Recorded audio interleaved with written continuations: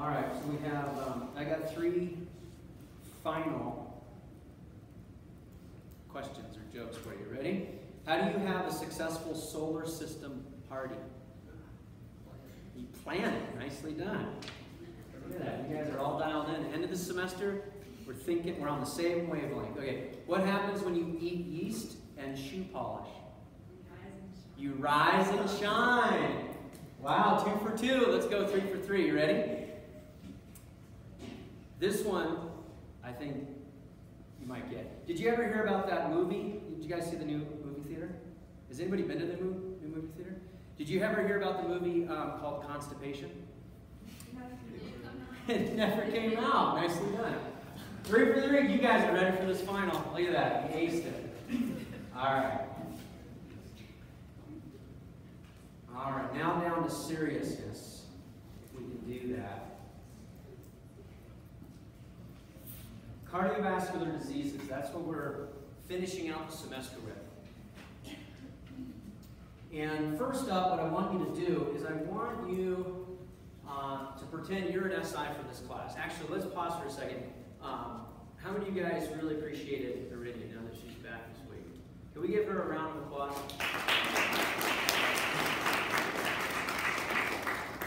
Everybody likes her.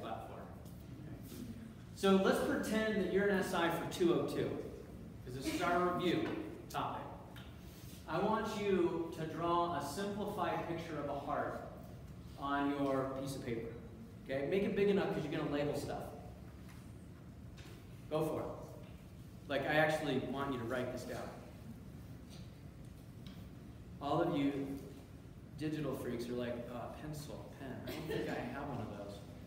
Could you do it on your tablet or your device or And then you're going to label these four items. Right ventricle, left ventricle, right atrium, left atrium.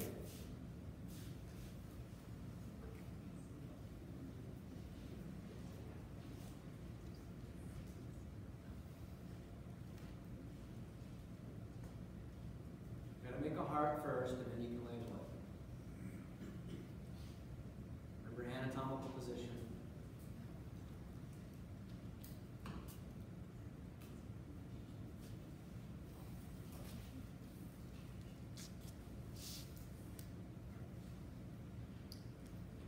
Yes, you can shade it in, you can use colored pencils, that's fine. Make it three-dimensional. Make a flip book between systole and diastole, that's cool. Some of you are still trying to figure out, how am I gonna draw a heart? That's my heart right there. Did you guys figure that out? I was trying to be helpful. Yeah, that's draw hearts. How many of you are how many of you are romantics and you have a heart like like this one? Aw, Chloe, so sweet. Oh come on, guys, come on, seriously. How many of you guys drew a heart like an actual Valentine's Day heart? Oh, no, not that. Oh, not that. Okay. Couple of you? Don't be embarrassed. Come on, we've been together all semester.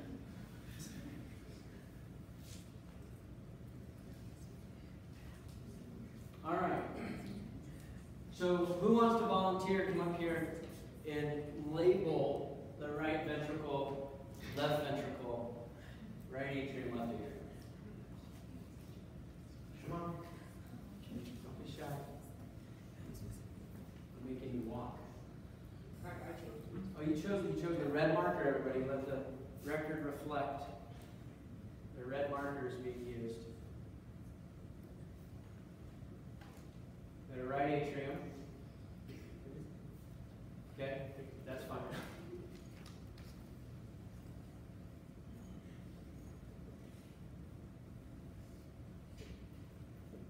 Okay. Very good. What do you guys think? Round of applause. All right, which way does blood flow? On your diagram, desire. This is actually somewhat relevant for this lecture. That's why we're doing this. That's one of my favorite ways to do the review section of this. See what you remember. I'll give you a second, and then I'll ask the audience. I'll poll the audience.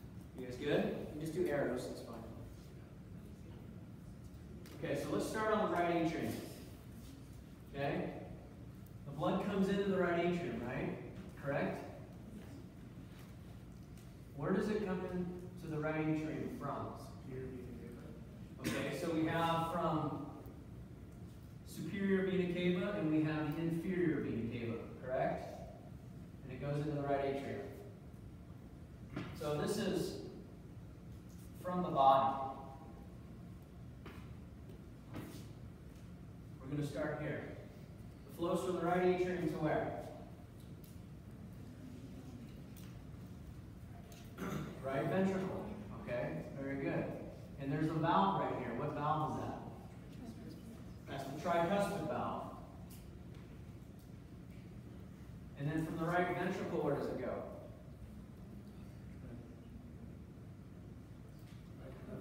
Is it oxygenated at this point, or is it deoxygenated? It's deoxygenated. So where does it go to get oxygenated? To the lungs, okay?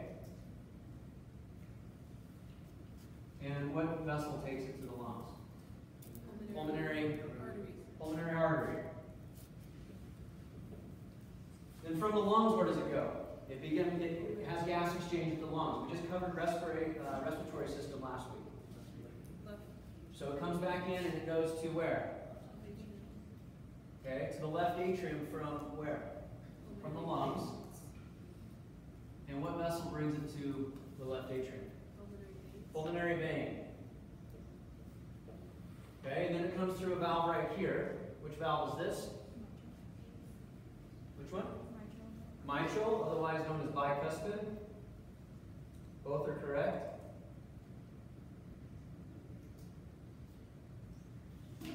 And then from the left ventricle, where does it go? It goes to the body. It uses what vessel to do that? It's only the largest one in the entire body. It's the aorta. Very nicely done. Okay?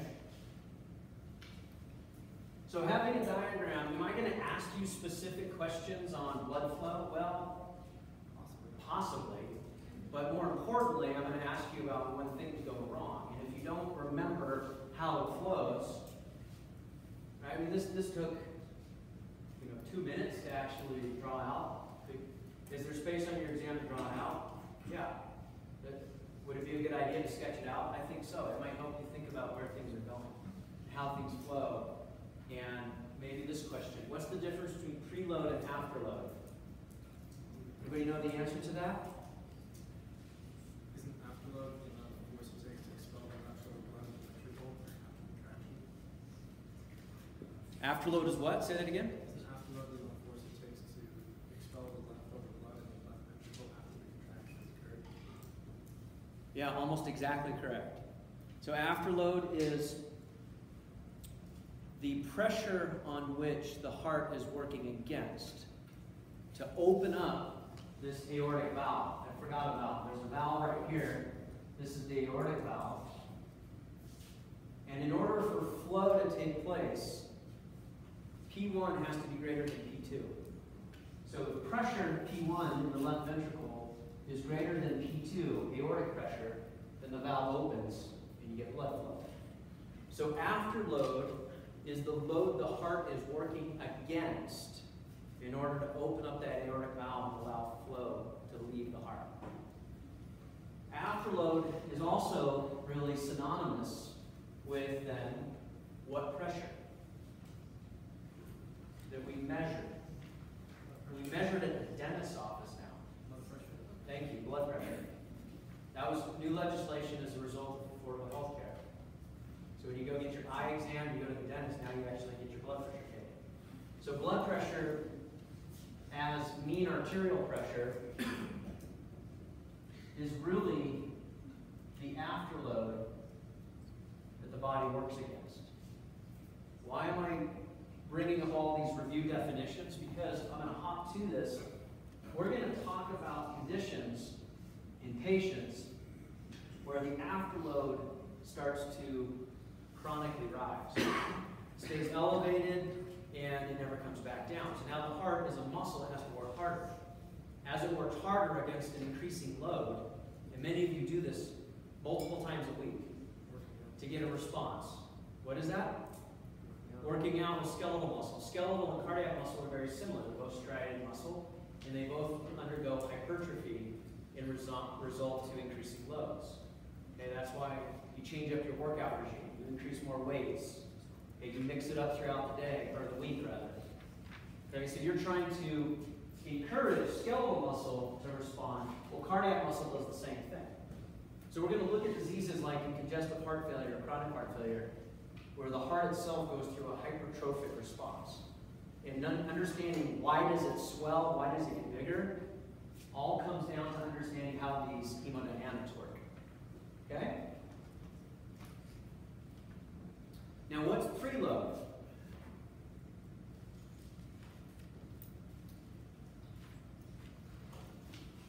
Preload. The load on the heart before it contracts. Very good. What does that mean?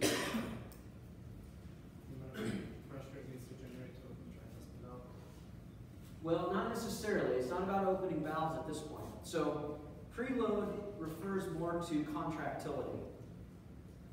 So, preload is defined as the muscle length prior to contraction, and it's directly proportional or dependent on ventricular filling, or what we know as venous return.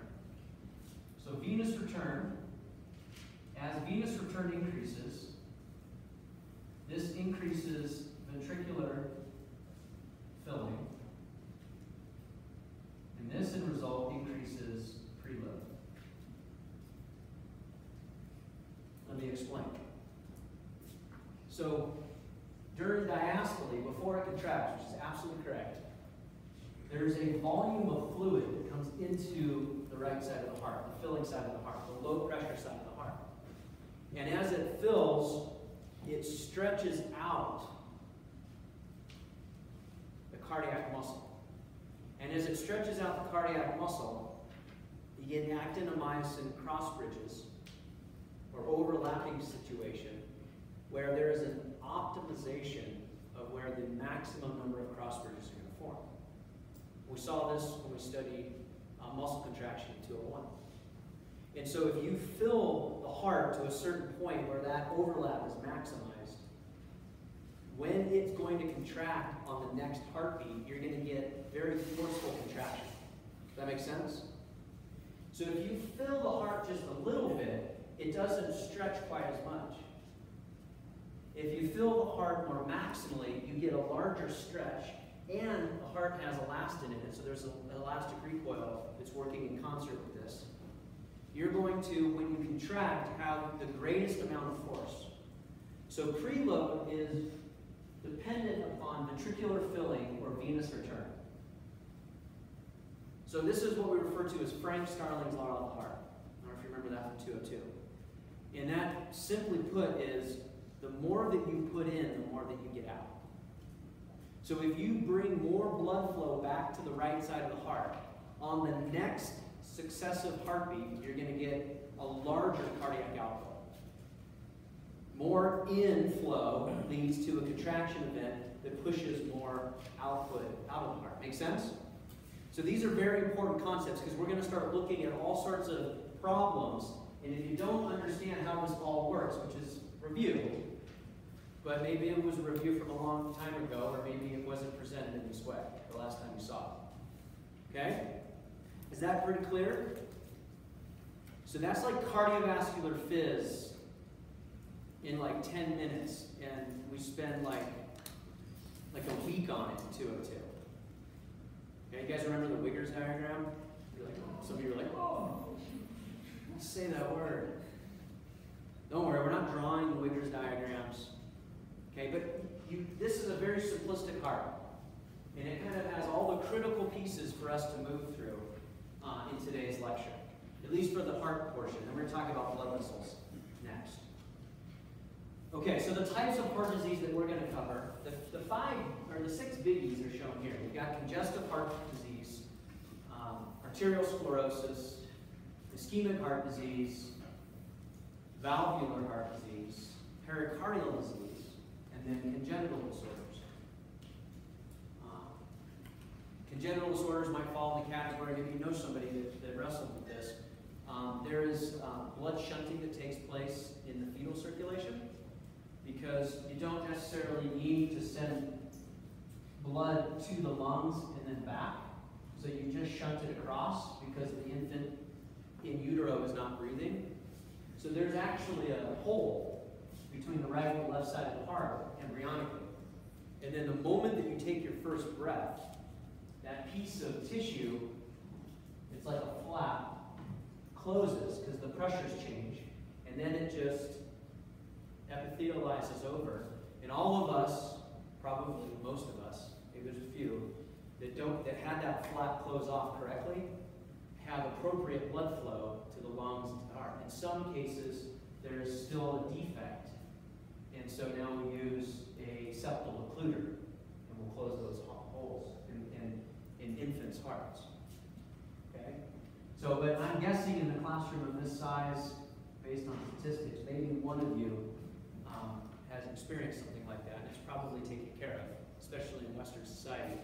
A larger percentage of you know somebody that had a defect like that. I actually had a grad student um, that had a defect like that, and they didn't discover it until he was an adult, and he had that taken care of, uh, like in the last few years. Uh, so we're not going to cover congenital diseases because we could go down a whole pathway of lectures on that, which would be cool. But again, I got to keep this um, within the realm of general topics. Okay? So the first three that are uh, in dark black text are the ones we're going to cover, and the ones that are kind of grayed out, we're not going to have a chance to cover. But the first one that uh, I want to cover on our list is uh, congestive heart failure. So congestive heart failure is a terminology um, that's really referring to the buildup of, of fluid. Because the heart's moving fluid, and if the fluid is not moving appropriately or well, then you get congestion. And that congestion uh, sticks around in the thoracic cavity. And primarily, it finds its way into the pleural space. Okay, so now you get this fluid, and we talked about this in the last lecture on the respiratory diseases. You usually have about 100 milliliters of fluid between the parietal and the visceral, visceral uh, membranes. And uh, in congestive heart failure, you might have patients that will pull off a liter per day. So 10 times that amount they're draining every day. So you can imagine a two liter Coke bottle, right? Half of that is a liter. And if you just sat on the ground, laid on the ground and put that on your chest, it, you would actually be able to feel that pressure. Now imagine if it was distributed around your entire pleural space. It would be very difficult to have a nice freely flowing breath. So we call this congestive heart failure, okay? The etiology, where it begins, a lot of times it comes from either two sources endocarditis, which is an inflammatory disease of the inner layer of the heart, the endocardium, or more commonly today, we see it with abnormal loads. And the number one culprit of an abnormal load in Western society is elevated blood pressure. So you want to know why are we so paranoid about patients' blood pressure? Well, if mean arterial pressure rises or your blood pressure, systolic blood pressure and your diastolic blood pressure start to increase, and we'll talk about things that lead to that in the second half of the lecture today, then your heart has to work harder to get out the same amount of blood, right? That's the starting of the heart.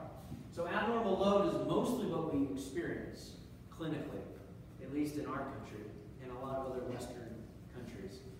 We say that it's a forward failure, forward failure meaning that we lose our cardiac output.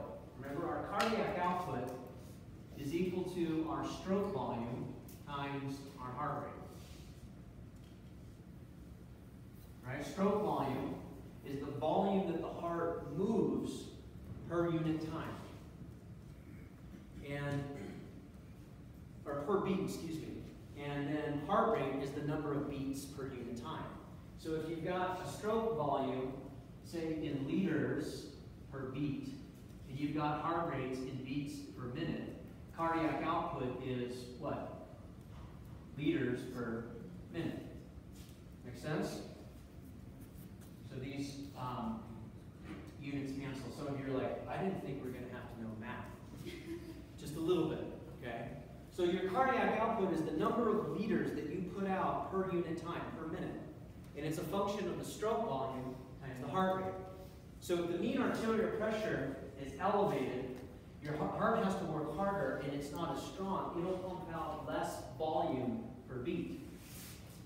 If it's less volume per beat, and you need to maintain the same uh, cardiac output, the only other way to do that is to increase the number of beats per minute. So now the heart is working harder. Make sense? If it works harder as a pump, that's what it is, it's going to wear out.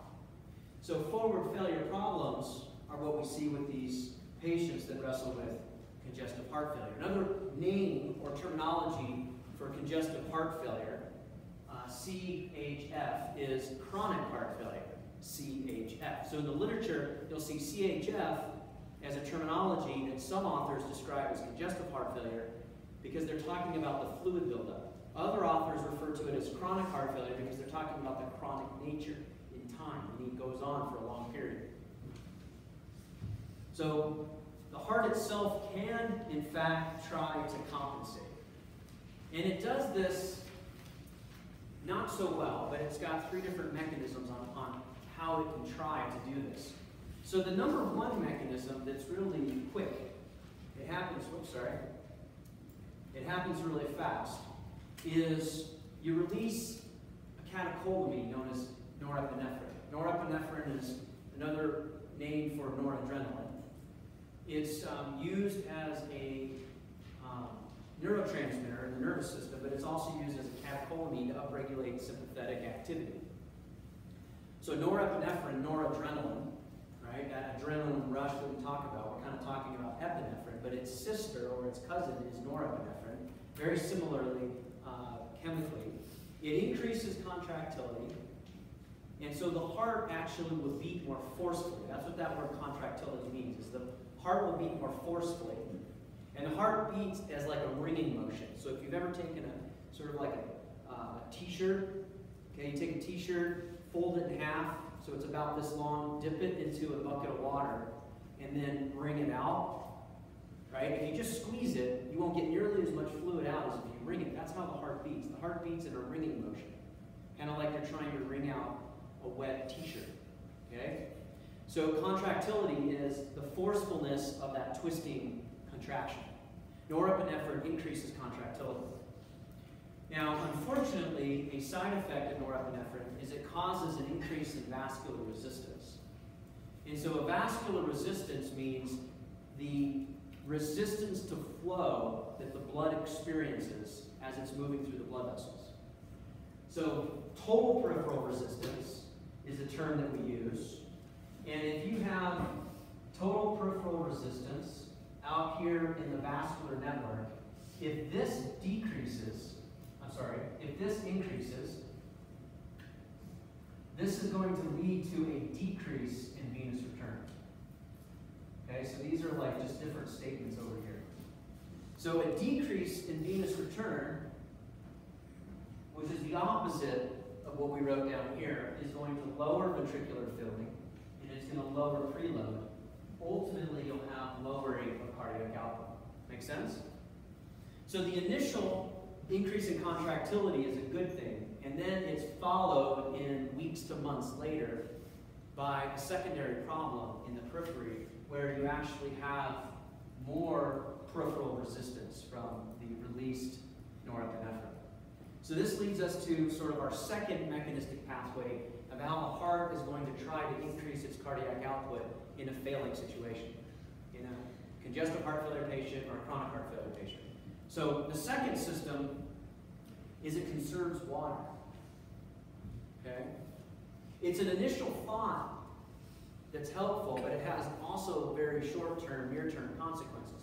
So if you look at the renin-angiotensin aldosterone system, remember renin is released and has activity um, at the level of the kidney, and it conserves water so you don't pee it out. And you increase your fluid volume in the blood circulation, that increases blood pressure, right? But that volume first increases venous return. So as the venous return increases, you get more filling, greater contractility, and then you get more cardiac output. But if you have a high blood volume, you also raise your blood pressure. And so in weeks to months after that compensatory mechanism, you have an increase in afterload or mean arterial pressure. And in doing that, now you're right back to this vicious cycle of where you started. Okay? So the first solution, weeks to months of benefit. The second solution, weeks to months of benefit. The third solution is more like months to maybe years. So there's a peptide that's released out of the atrium, atrial natriuretic peptide. That's ANP. ANP is released, and it's detected by large blood volume, where the atrium is swelling beyond what it's supposed to swell. So it releases this natriuretic peptide, and the word natriuresis means to do what? What does the word natriuresis mean? Any ideas? But No, that's why you're here. Does it increase the sodium It does. See, you guys know this. The, the, the word natriuresis, or natriuretic peptide, is it increases the amount of sodium that's excreted in the urine. And water follows sodium, so the water leaves as well. That's diuresis. And now you pee out your excess blood volume, and you actually reduce mean arterial pressure by dropping blood pressure. So, the last mechanism gives the patient maybe more months to years of compensation. But then after that, they're, they're done with all of their tricks physiologically. And so one of the first things that we go to when we're treating a patient with congestive heart failure, chronic heart failure, is we use extra diuretics. We'll give them more diuretics that makes them go pee. Right? We're using that third mechanistic pathway, but we're doing it more aggressively. That reduces their blood pressure, reduces by, by reducing their blood volume, then the heart doesn't have to work as hard. Make sense? But that's about it. It's a chronic situation that gets worse and worse and worse over time. And it's essentially an inevitable process that eventually the heart's going to fail. So if we look at different failure modes, um, we'll talk about here in a second left versus right-sided heart failure. So as the heart is trying to compensate, this Frank Starling law that we introduced in the intro, it talks about how the heart's going to move through a compensation mechanism, either norepinephrine or renin-angiotensin or ANP. But eventually, the compensation leads to a decompensation, where it makes the problem worse. And then you continue to progress, the patient progresses into uh, higher levels of chronic heart failure. This whole time, the heart is working harder, so you get hypertrophy of the heart. So the heart itself will enlarge, it'll swell, it'll, it'll, it's like it's working out. And as it hypertrophies in size, it's taking more energy. It's essentially exercising to a greater extent than what you and I do on a regular basis. And because of that, in these patients that have end stage or progressed chronic heart failure, they have this condition known as body wasting, cardiac cachexia. Because of the extra metabolic demand of the heart just to work and just to beat, uh, it sucks a lot more ATP, and so the heart itself is like this exercising organ 24 7. And the patients start losing dramatic amounts of weight over time. So if we compare and contrast left versus right-sided heart failure, our left-sided heart failure is referring to really this side of heart. Remember, this is the patient's anatomy, so it's as if you're looking at me. So this is my left side.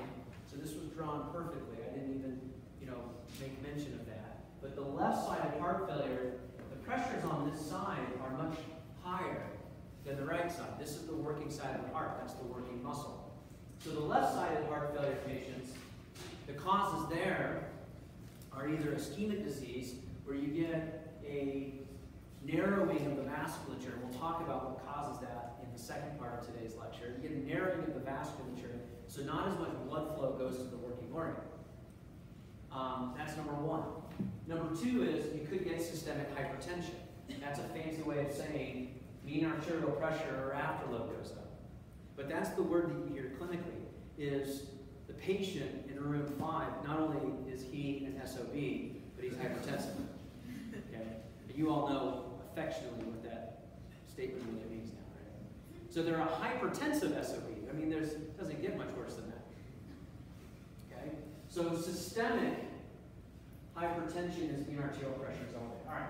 Mitral aortic valve disease. Okay, so the two valves that are at greatest risk of wearing out in our lifetime are on the left side of the heart because it's the high pressure side of the heart.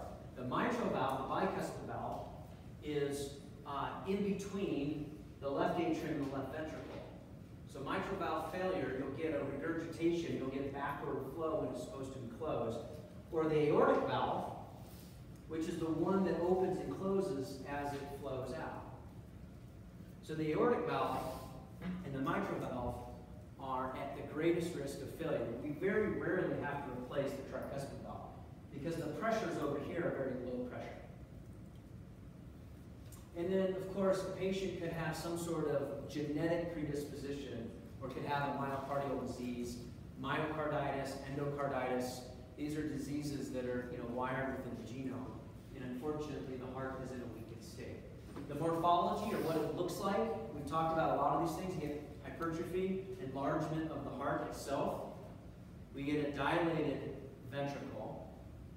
Okay, so it blows out, usually on the left side only. And I'll show you some pictures this. And then this is where we're ending up. We get pulmonary congestion and edema. And that's where I was talking about. We go from 100 milliliters of fluid in that pleural space to like a liter a day. A liter a day because it continues to build up. And a liter a day is at the point where the patient's like, uncle, take me in and get me treated for something. And a lot of them get like a PleurX or a port put in to drain it at home. So it's a little bit more convenient. Okay? So the biggest impact on the pulmonary circuit uh, on, is on the pulmonary circuit on the left side because if you back up, if you look at our diagram, if you back up from the aorta, you're backing up to the lungs. And so that's where all that fluid, that edema and pulmonary congestion ends up in the lungs on the left side of heart failure patients. Make sense? Any questions about that? So what are our symptoms? Some of these words are going to be uh, very, very familiar, right? We have shortness of breath. We have cough. Uh, we have shortness of breath while we're lying down.